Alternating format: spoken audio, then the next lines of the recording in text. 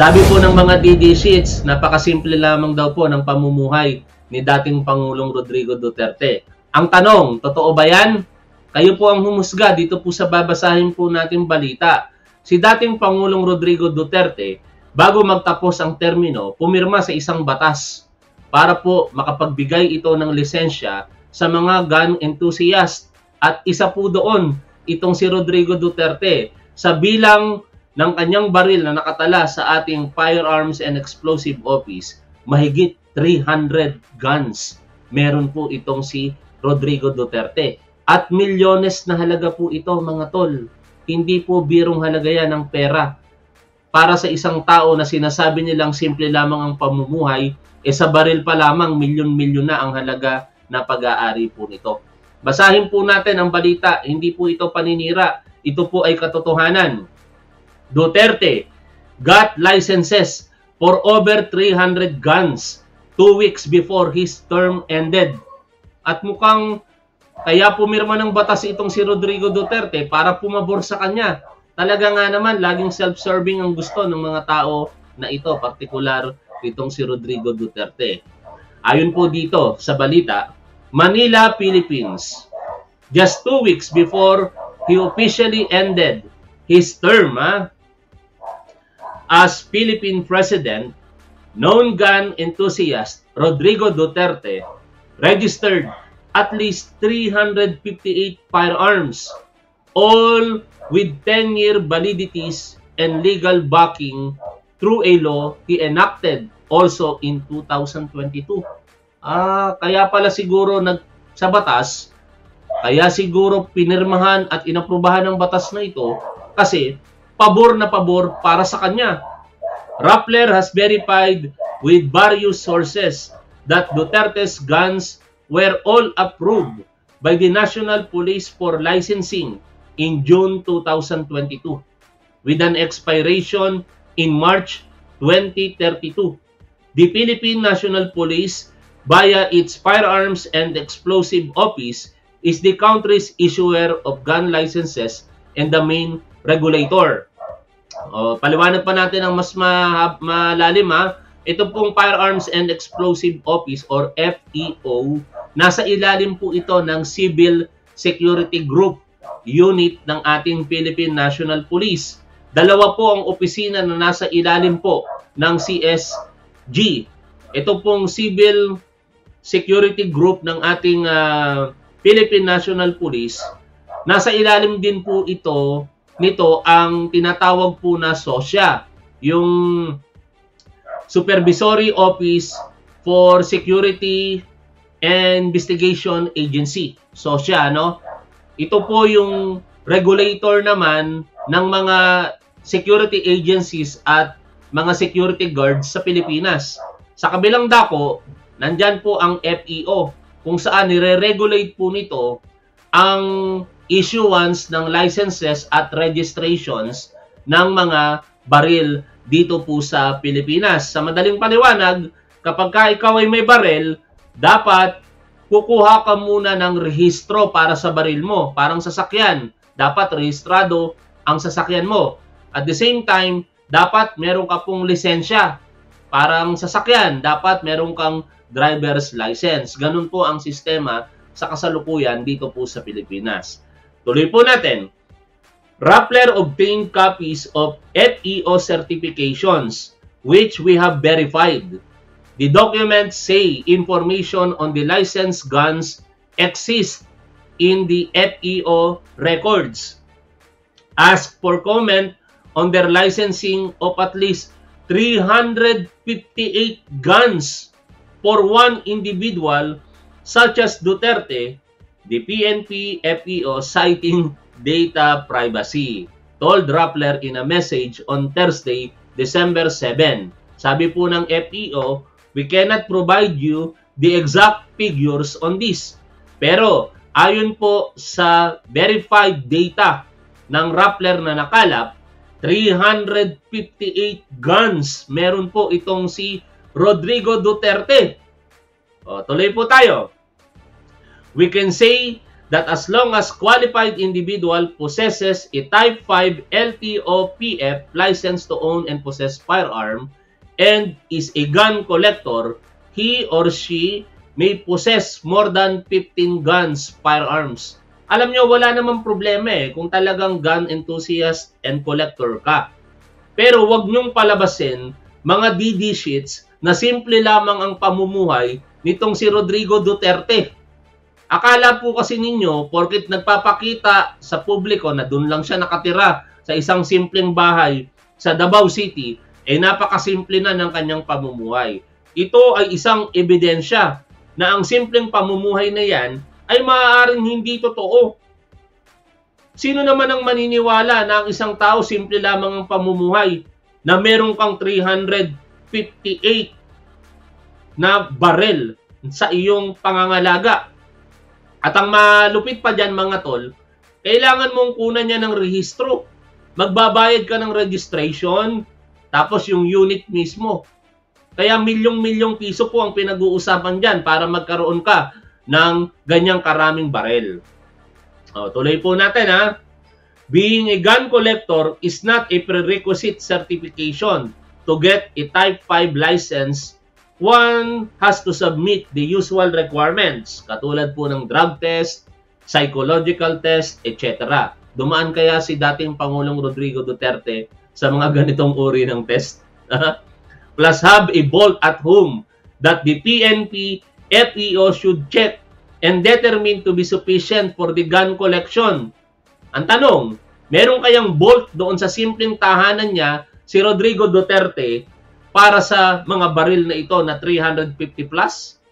O, compliance with these requirements can facilitate obtaining a Type 5 license which automatically makes the license holder a gun collector. Duterte holds a Type 5 license and under the law, a Type 5 license specifically allows certified gun collectors to have more than 15 guns. By the way, para po sa kalinawan po ninyo mga tol, ha, initially, nung hindi pa po presidente itong si Pangulong Rodrigo Duterte dati, ang umiiral na batas ay yung Republic Act 10591, the Comprehensive Firearms and Ammunitions Act of 2012. Ito pong batas na ito, hindi po nito inaalaw ang isang tao na mag-possess ng sobrang dami ng baril. Higit sa lahat, hindi po ganun katagal ang expiration ng registration including its or his or her license. Pero dahil naging pangulo itong si Rodrigo Duterte at isang gun enthusiast or collector bago matapos ang kanyang termino, nagkaroon ng batas na pumapayag para magkaroon ng ang isang tao ng higit sa ina-allowed ng batas before at ngayon nga napatunayan natin na itong si Rodrigo Duterte ay merong 350 plus na baril sa kanyang pag-aari. Tuloy tayo. Duterte holds a Type 5 Type 5 license and under the law, a Type 5 license specifically allows certified gun collectors to have more than 15 guns. More than half of the licensed firearms, at least 222, are pistols yung pistols, yun po yung eskwala kung tawagin sa colloquial term, ano, yung nakikita po nating handgun na pael. O, yun po ah, pistol po ang tawag doon.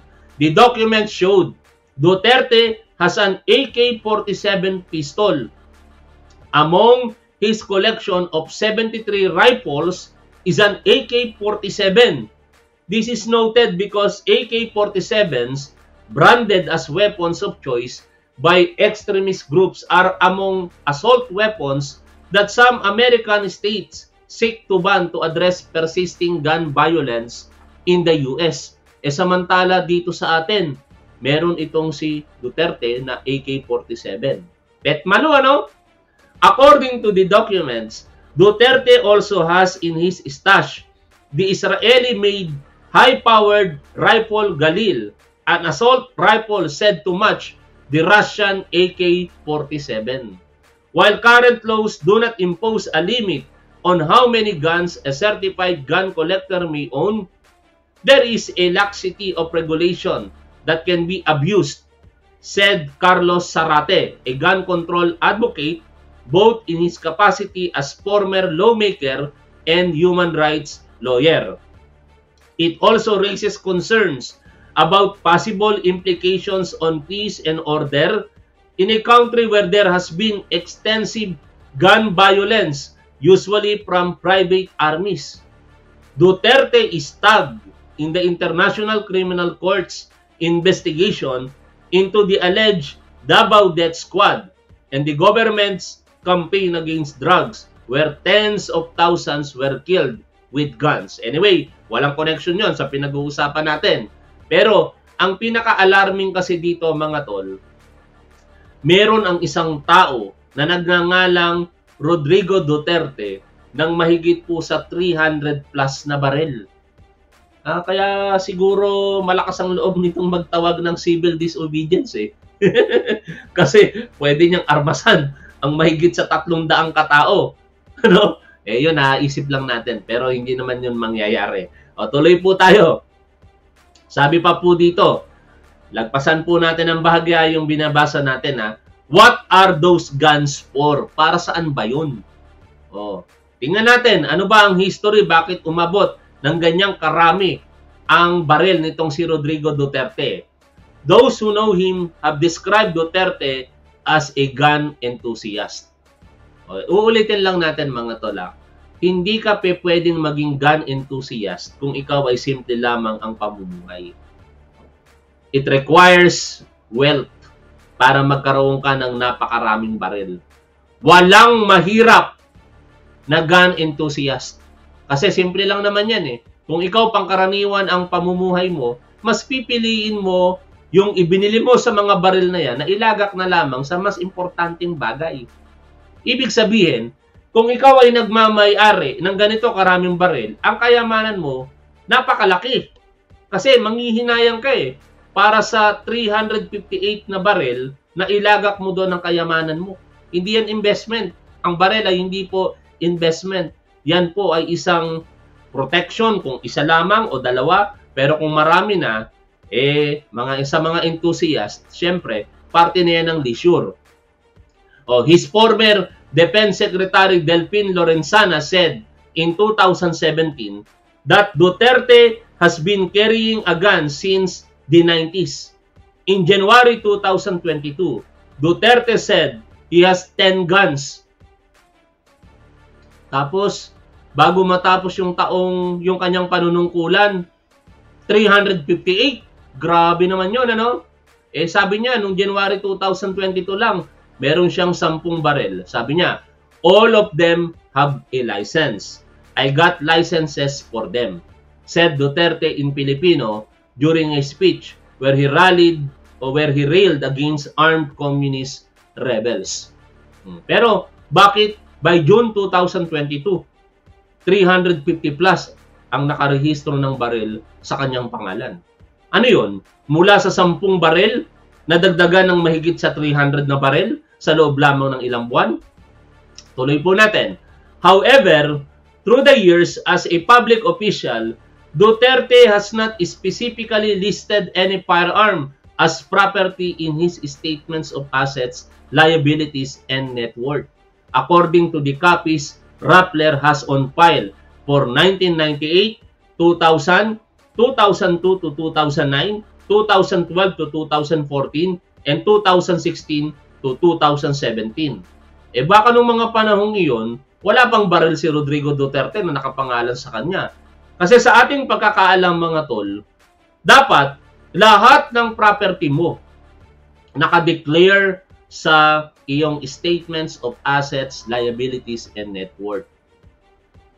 Lahat, alahas, relo, lahat ng makakita yung personal property mo. Kasi sa asa, sal, and mga tol, nakalagay doon yung real property or and personal property.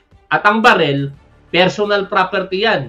Kaya dapat nakadeclare yan sa statements of assets, liabilities, and net worth. Sana sa mga susunod na panahon, yung SALN nitong si dating Pangulong Rodrigo Duterte from 2017 hanggang 2022, maisa publiko. Malaman po ng publiko kung gaano po kayaman o kasimple lamang ang pamumuhay itong si Rodrigo Duterte. Tuloy natin. At least 72 of the 222 pistols with brands and models identified and registered under Duterte already have an estimated value of 5.5 million pesos based on latest available retail prices of leading firearm sellers in the Philippines. Baril pa lamang yan mga tol ha, 5.5 million pesos na sa bilang na 222 pistols according to estimated value 5.5 million pesos. Tapos simple ang pamumuhay. O yan, tuloy tayo. Including other guns based on the cheapest models of rifles, revolvers, and shotguns among others. A conservative estimate of Duterte's stash ranges from 5.5 million to 7 million pesos. Simple nga ang pamumuhay. 7 million pesos para pa lamang sa barel. Napakasimple talaga ng pamumuhay ng hinahangaan ninyo mga DD sheets. O, tuloy tayo. Duterte's last known worth net worth was 28 1.5 million pesos according to his 2017 SALN. Eh kung isasama natin yung mga baril na ito sa taong 2022 na meron po siyang 358 na baril na rehistrado syempre sa FEO, eh baka ang halaga mga nasa 35 million pesos na ang net worth nitong si Rodrigo Duterte simpleng pamumuhay. O, yan ha, kasi pinagdidiinan ng mga DD sheets, simple lamang ang pamumuhay nitong si Rodrigo Duterte. Duterte Salen from 2018 until he stepped down from the presidency have been kept secret from the public backed by a supplemental policy from the Office of the Ombudsman which until Duterte's time was the office that released salens of presidents every year. Sana sa panahon po ng ating mahal na Pangulong Bongbong Marcos, yung mga salen na yan, partikular ng mga previous presidents, eh ilabas na din. At ako naniniwala ako, papayag din naman si Pangulong Bongbong Marcos na ilabas ang kanyang salen bilang presidente ng Pilipinas. O baka pangunahan ni Pangulong Bongbong Marcos yan. Sinabi niya naman sa debate noon nang siya po ay nangangampanya lamang na willing siyang ilabas ang kanyang salin. Para malaman na rin po natin once and for all, ito pong si Rodrigo Duterte kung gaano pa ito kasimple sa kanyang pamumuhay. Ngunit, ang katotohanan dito po sa binabalita natin ngayon o sa binabasa po nating balita, ito pong batas na bago, pabor na pabor po ito kay Rodrigo Duterte. Bakit? Basahin po natin ang balita. Duterte would not have had 10-year licenses had he not acted a law on May 6, 2022 or a month before turning over the presidency. Pabor na pabor. Hindi magkakaroon ng 10-year licenses itong si Rodrigo Duterte kung hindi po na isa batas itong kanyang pinirmahan bago po siya bumaba bilang Pangulo. Ano ba yung batas? He passed Republic Act 11766, which amended two sections of the Noynoy Aquino Time RA 10591. These sections would later turn out to be beneficial to Duterte when he registered the 358 firearms. Ang galing ano? Bago siya matapos sa kanyang panunungkulang bilang Pangulo, sinigurado niya na yung kanyang mga koleksyon ng barel ay may re-rehistro at merong validity for 10 years. Simpleng pamumuhay. Ang galing talaga ng hinahangaan yung si dating Pangulong Rodrigo Duterte. Duterte's Republic Act 11766 extended the validity of firearm license to 5 to 10 years, meaning a license to own can be valid for that period and registration can be renewed after every 10 years. Alam ninyo, ang isa sa reason kung bakit po na isabatas ang Republic Act 10591 kung bakit po nagkaroon ng separate registration and licensing sa baril ay para po i-discourage ang mga Pilipino na bumaril ng baril kasi magastos. Pero ang ginawa nitong si Rodrigo Duterte sa kanyang panahon ay inextend pa. Parang kinumbinsi niya pa ang mga Pilipino na mura na lamang ang pagpapalisensya at pagpaparehistro. Kasi bakit mura na lamang?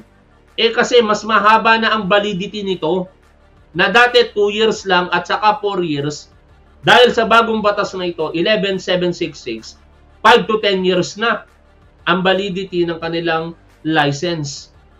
O kaya, sino ngayon ang mas mabuti ang intention? Yung Republic Act 10591 ba o Republic Act 11766? Kayo na ang humusga mga tol. Dito po sa binasa po natin balita. Ito po, balita po ito. Hindi po ito paninira lahat po ng mga nakalagay sa balita nito, pwede nyo pong i-verify sa ating Firearms and Explosive Office. Kaya ngayon, sa mga nagsasabi na talagang simple lamang ang pamumuhay ni dating Pangulong Rodrigo Duterte, eh sige, patuloy nyo lamang pong paniwalaan yan. Pero sa aming mga nag-oobserba, hindi po yan kapanipaniwala. Kasi sino naman ang maniniwala na simple lamang ang pamumuhay ng isang tao kung ito ay nagmamay-ari ng napakaraming baril na nagkakahalaga ng milyones. O, ano ang masasabi ninyo dito mga tol sa pinag-uusapan po nating balita?